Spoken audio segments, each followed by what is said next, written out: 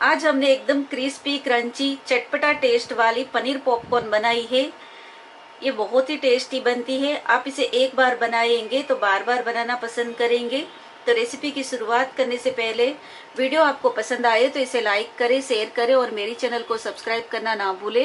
Bell icon को click करें ताकि आने वाले वीडियो की नोटिफिकेशन आपको मिलती रहे। तो रेसिपी की शुरुआत करते हैं और बनाते हैं पनीर पॉपकॉर्न पनीर पॉपकॉर्न बनाने के लिए 200 ग्राम पनीर लिया है।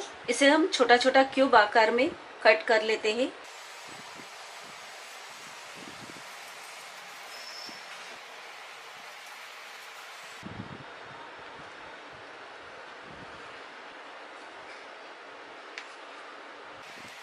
इस तरह से छोटा छोटा चौकर पीस कर लेते हैं।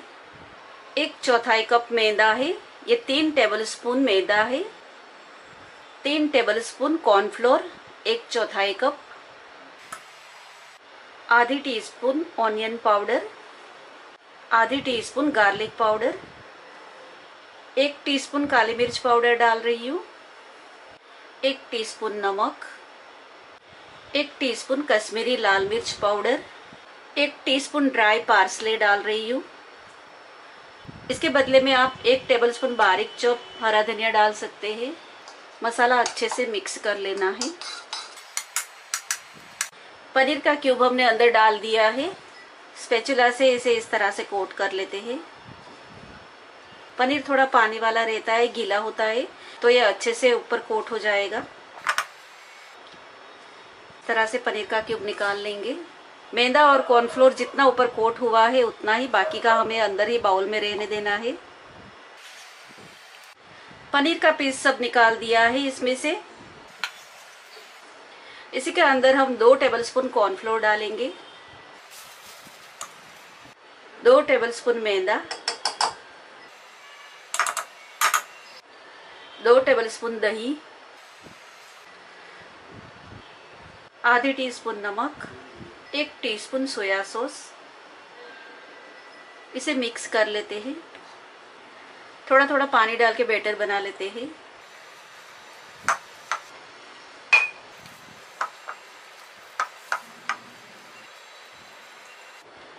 बैटर मैंने बना लिया है। मीडियम गाढ़ा बैटर बनाना है। इसमें मैंने एक चौथाई कप और डेढ़ टेबल स्पून पानी डाल के बैटर बनाया है। दही आप गाढ़ा या पतला ले रहे हैं, उस हिसाब से पानी डाल के बैटर बनाना है। मैंने यहाँ पे एकदम गाढ़ा दही लिया था। एक बाउल में मैंने ड्राई ब्रेड क्रम्स ले लिया है। पनीर का क्यूब को बेटर में डालेंगे। एक एक क्यूब को इस तरह से डीप करके ब्रेड क्रम में डाल देंगे।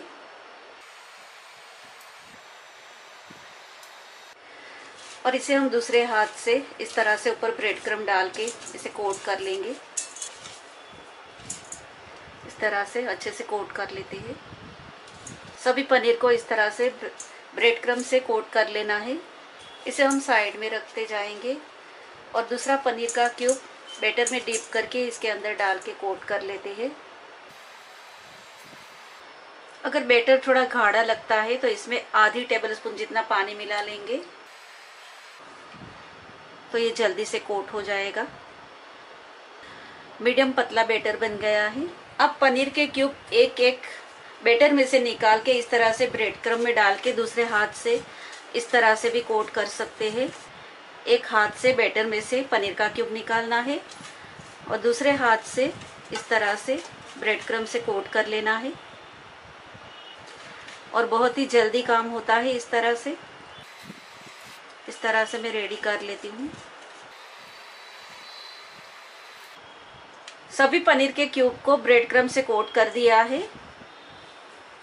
तरह से इसे निकाल लेते हैं, क्योंकि नीचे ब्रेड क्रम्स है। इस तरह से कर लेंगे तो अच्छे से ब्रेड क्रम ऊपर चिपक जाएगा। पॉपकॉर्न को रेडी कर लिया है। अभी इसके ऊपर डालने के लिए एक मसाला मिक्स कर लेते हैं। एक टीस्पून पाउडर चीनी, एक टीस्पून नमक, आधी टीस्पून काली मिर्च पाउडर आधी टीस्पून ऑनियन पाउडर आधी टीस्पून गार्लिक पाउडर एक टीस्पून कश्मीरी लाल मिर्च पाउडर एक टीस्पून चाट मसाला। मसाले को अच्छे से मिक्स कर लेते हैं। तेल गरम करने के लिए रख दिया है और ये गरम हो गया है। तेल अच्छा गरम हो जाना चाहिए। बाद में पॉपकॉर्न को अंदर डालना है। इसे हम मीडियम टू हाई फ्लेम पे फ्राई कर लेते हैं। धीमी आँच पे इसे फ्राई नहीं करना है, नहीं तो पनीर हार्ड हो जाता है। उलट पलट करके गोल्डन ब्राउन हो जाए, तब तक हम इसे फ्राई कर लेते हैं। ये गोल्डन ब्राउन हो गया है तो इसे हम निकाल लेते हैं। एक बाउल में निकाल लेते हैं। फ्राई करने के बाद इसके ऊपर तुरंत ही मसाला हमने बनाया था, ये ऊपर डालना है। इस तरह से मसाले को अच्छे से कोट कर लेना है ऊपर डाल के। गरम गरम में मसाला ऊपर डालेंगे तो ये अच्छे से ऊपर चिपक जाएगा।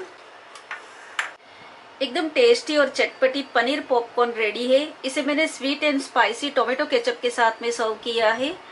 ये बहुत ही टेस्टी बना है। आप इसे एक बार ज़रूर ट्राई करें। रेसिपी आपको कैसी लगी है, मुझे कमेंट बॉक्स में लिख के ज़रूर बताएँ। तो मिलते हैं अगले और एक नए वीडियो के साथ।